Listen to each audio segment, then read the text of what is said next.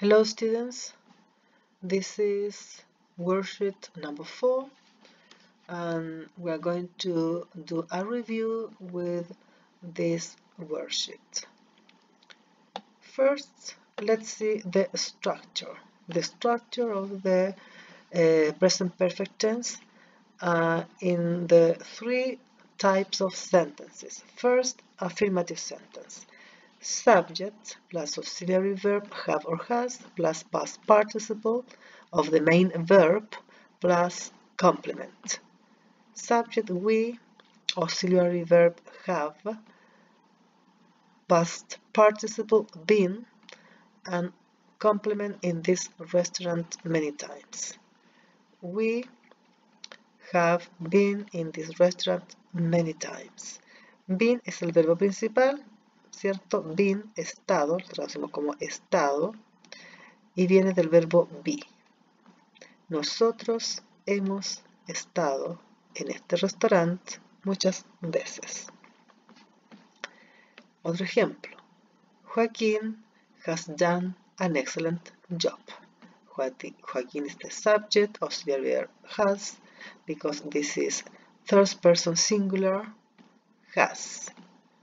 Past participle done, verbo done viene del verbo do, hacer, y el, pasado participio es done. An excellent job.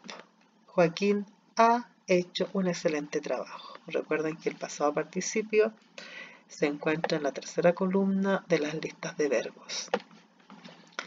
Exercise, order these sentences according to the correct structure. Deben ordenar estas oraciones tenemos reading, que es el verbo en pasado participio, viene de ride, que significa montar.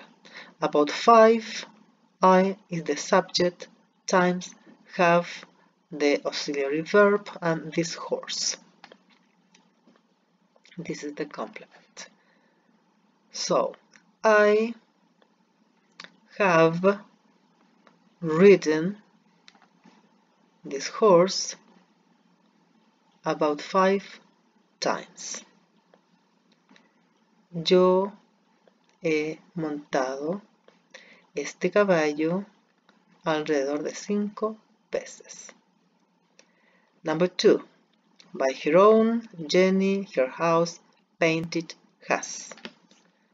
Primero ubicamos al sujeto, que en este caso es, por supuesto, Jenny.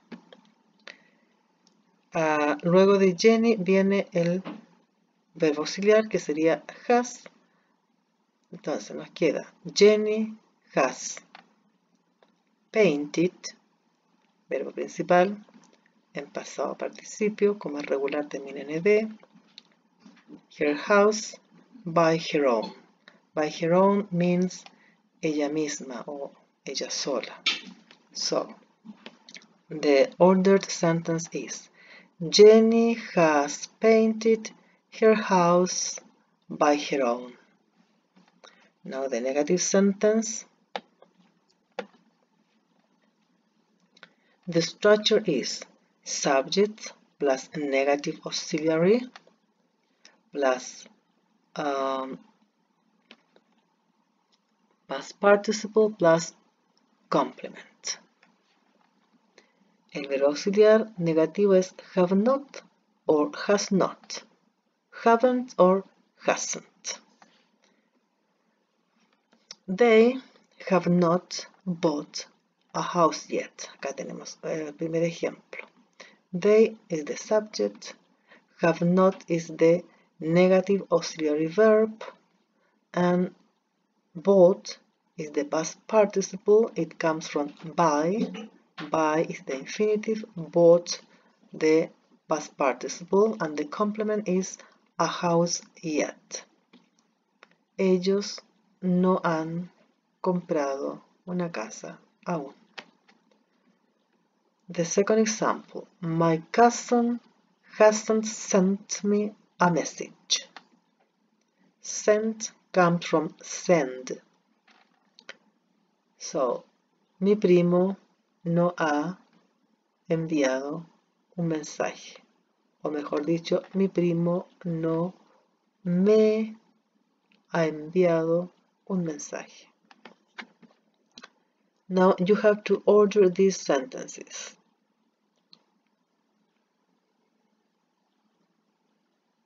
Number one, not attended to a rock we have concert.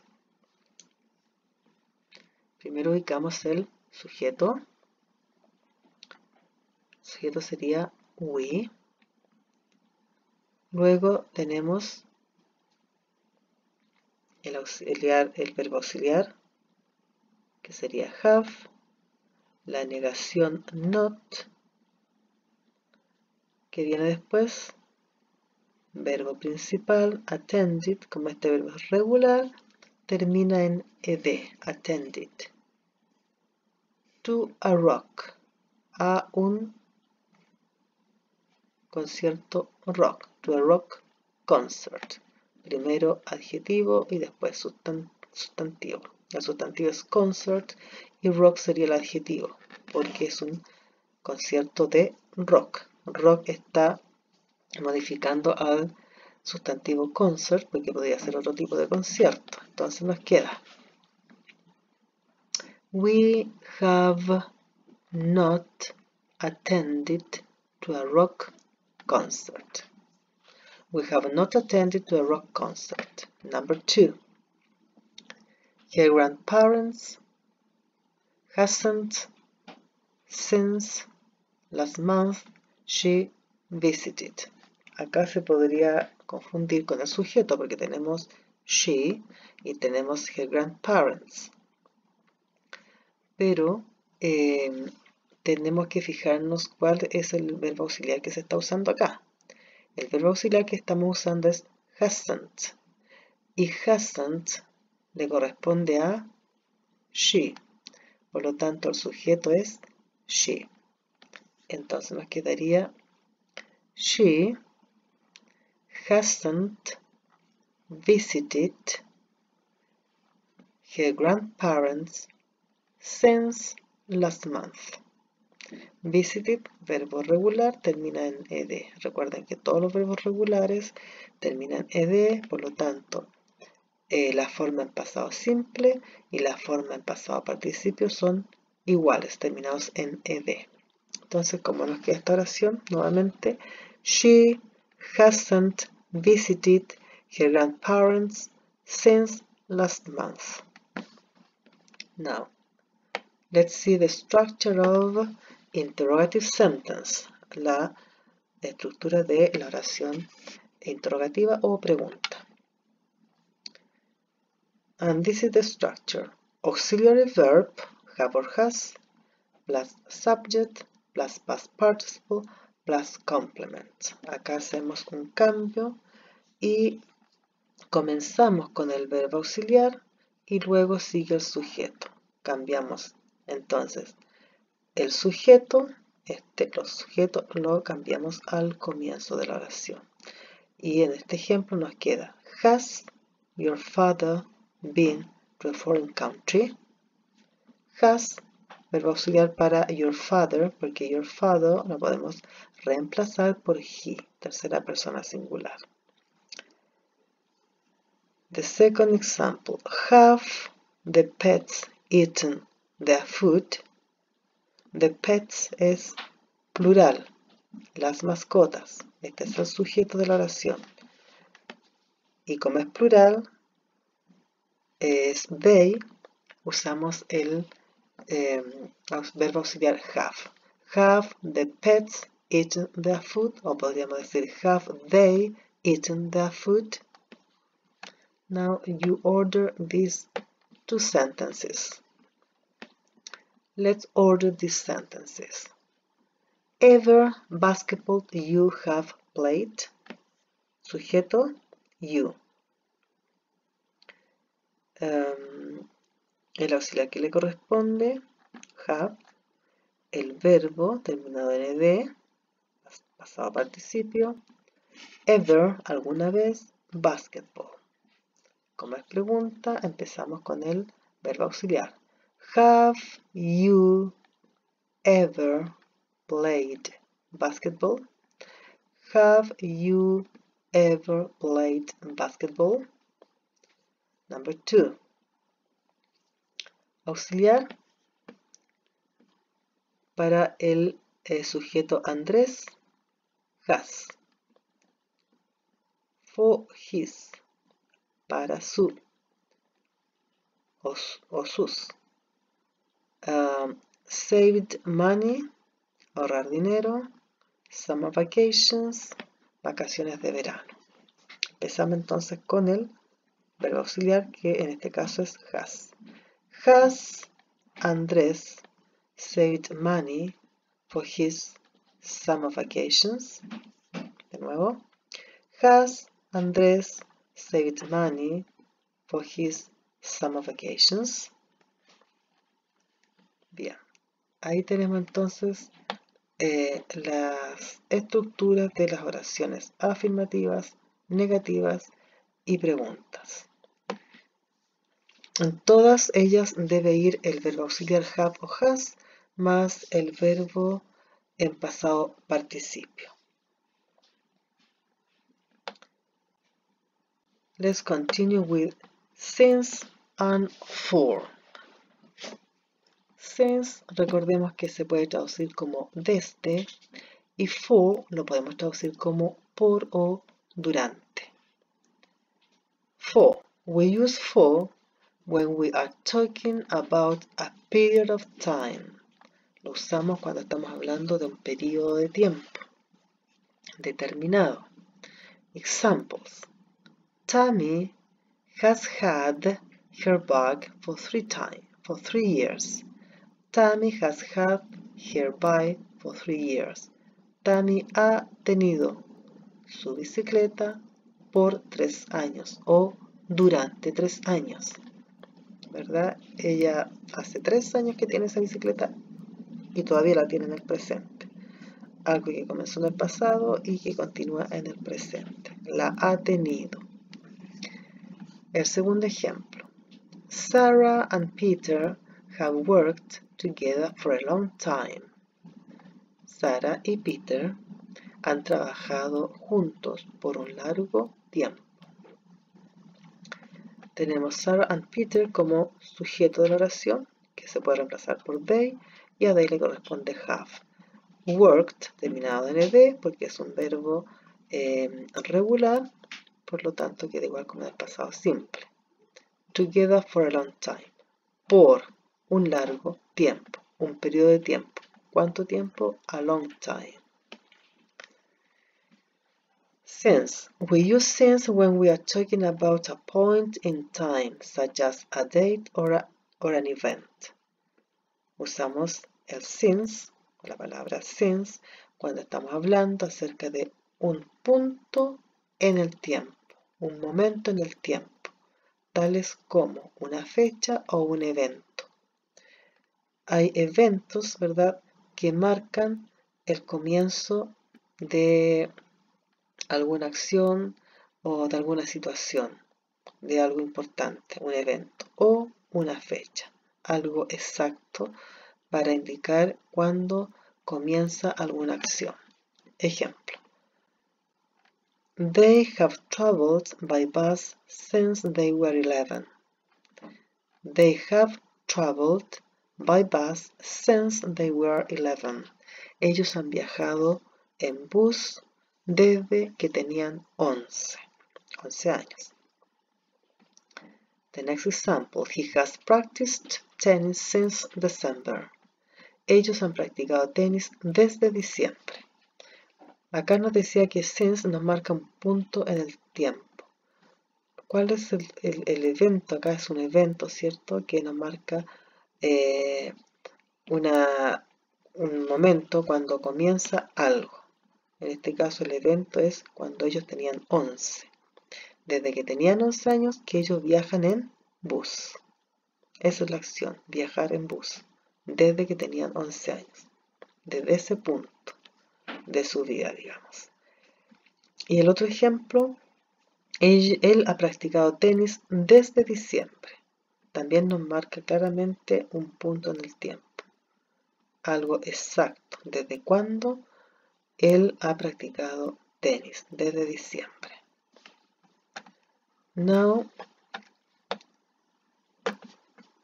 you have to uh, solve these five exercises. You have to choose between since and for.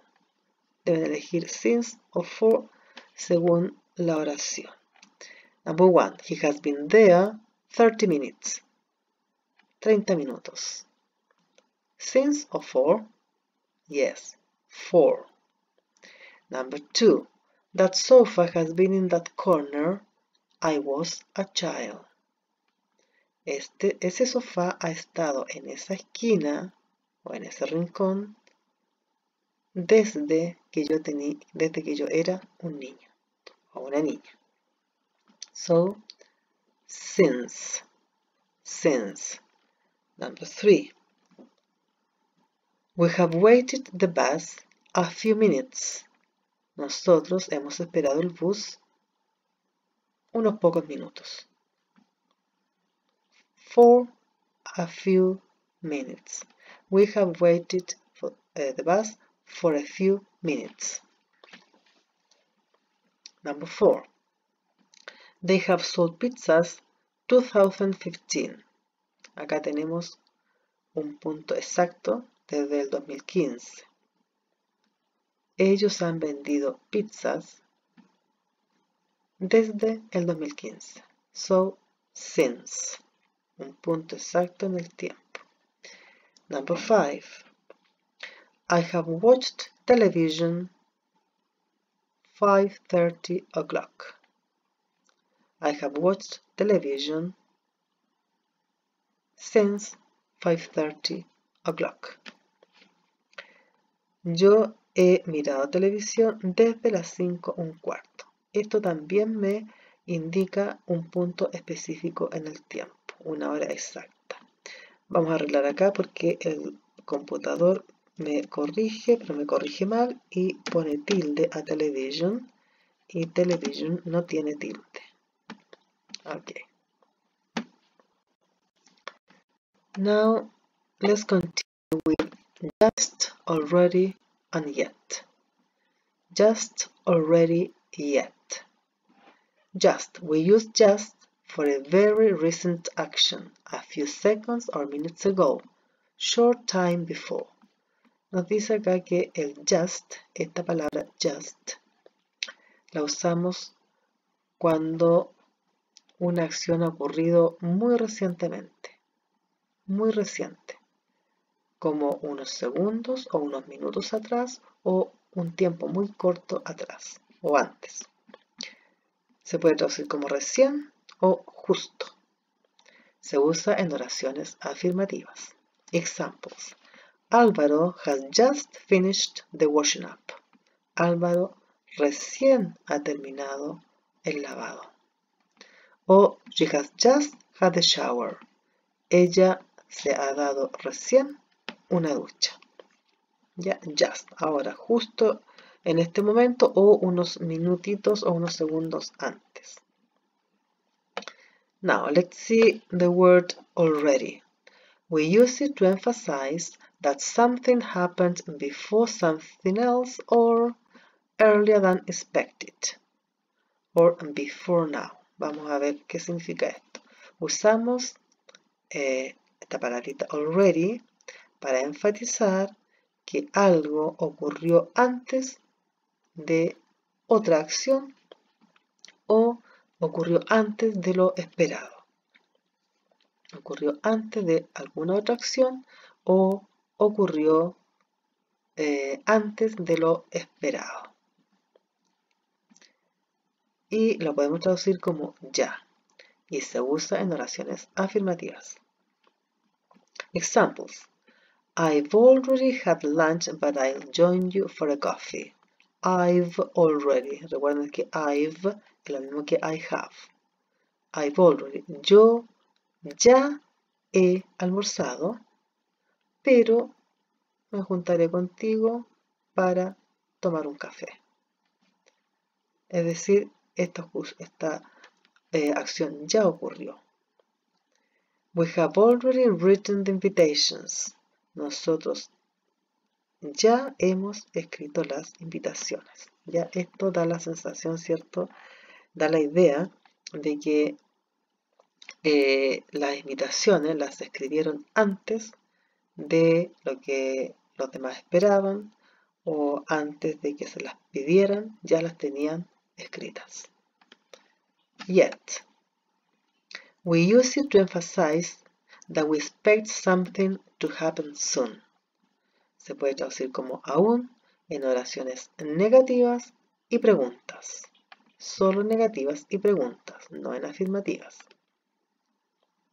Entonces usamos yet para enfatizar que nosotros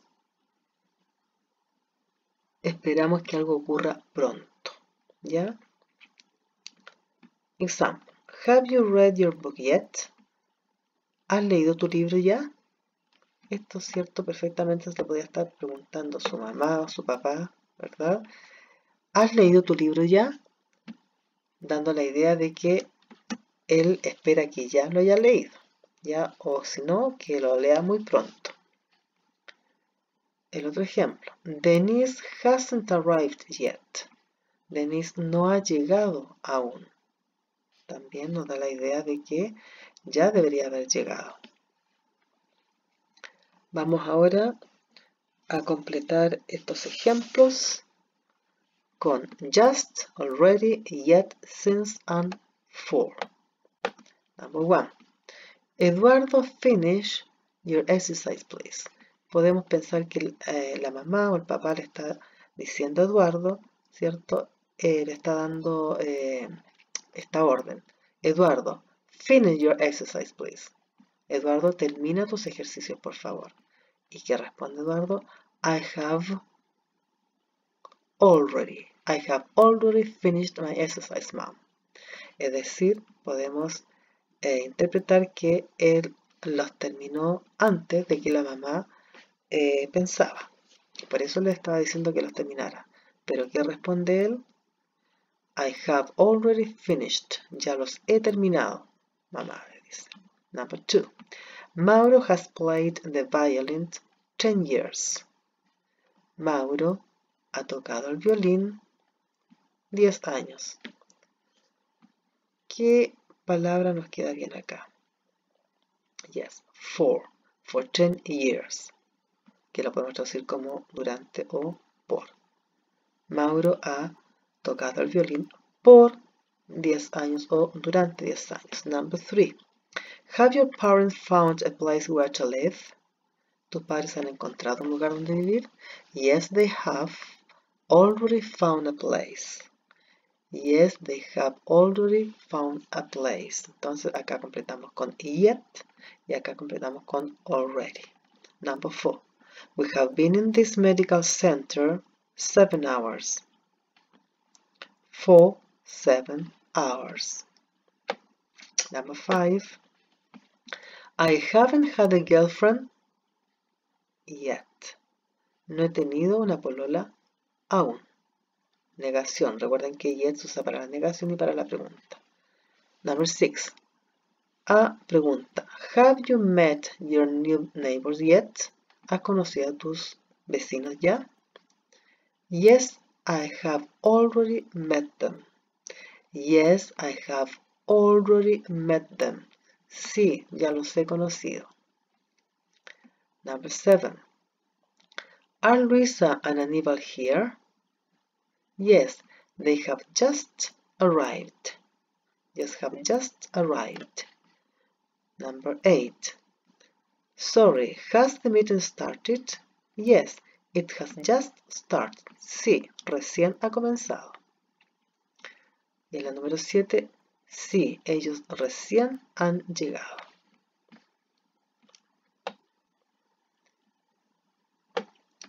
Number 4, item number 4 have or has. Tenemos que ver acá eh, cuál de las dos formas eh, verbales, eh, o mejor dicho, cuáles de las dos verbos auxiliares vamos a elegir, have o has, dependiendo del sujeto. Y vamos a hacer dos cosas. Vamos a reemplazar estos sujetos, todos estos son sujetos de alguna oración, que pueden ser un sustantivo como father o puede ser un eh, nombre como Elizabeth. Entonces, reemplazamos este sujeto con un pronombre y luego elegimos el verbo auxiliar. Example, my father, he has. Elizabeth, she has. Your brothers, they have. Reemplazamos your brothers por they. Elizabeth por she, my father por he. Y luego elegimos el auxiliar, el verbo auxiliar que le corresponda a cada uno. The rabbit, it has. That man, he has. This girl, she has. Bruno and Natalia, they have. Her, his sister, she has. Anna's son, el hijo de Ana, he has. You and me, we have. He and she, they have. Your students, they have. You and me, we have. Bien chicos, eh, espero que este repaso les sirva. Es, quise tomar esta parte porque eh, muchas veces se confunden eh, con los sujetos, ¿verdad? Con los pronombres, mejor dicho. Y les cuesta discernir o les cuesta Em, decidir cuál pronombre usar, porque muchas veces les, gusta, en vez de usar los eh, nombres o los sustantivos, les gusta usar los pronombres, pero hay veces que se equivocan. Entonces, ahora nos quedó clarito, ¿verdad? Que eh, siempre podemos reemplazar por un sujeto y muchas veces tenemos dos pronombres, por ejemplo, como acá, que lo podemos encerrar solamente en they, en un pronombre. Y de esta manera también tienen que fijarse muy bien que a veces puede estar en plural, como your students, está en plural, ¿verdad? Brothers también está en plural. Acá podría ser your brother o your brothers. Acá se equivocan bastante. Si le sacamos la S, nos cambia inmediatamente a he. Con la S nos cambia a they y a la vez nos cambia también el verbo auxiliar. Por eso es que quise hacer este ejercicio para que recuerden eh, estos contenidos que se pasan en básica, pero que se van a estar usando siempre. Bueno chicos, espero que les sirva. Eh, vean este, escuchen y vean este video y em, lo pueden hacer de a poco, tal vez, para que puedan ir memorizando, para que puedan ir comprendiendo bien. Y lo pueden ver más de una vez, por supuesto. Ojalá lo vean más de una vez, especialmente aquellos que les cuesta un poquito más. Bien, que estén muy bien y que eh, continúen bien juntos con sus familias.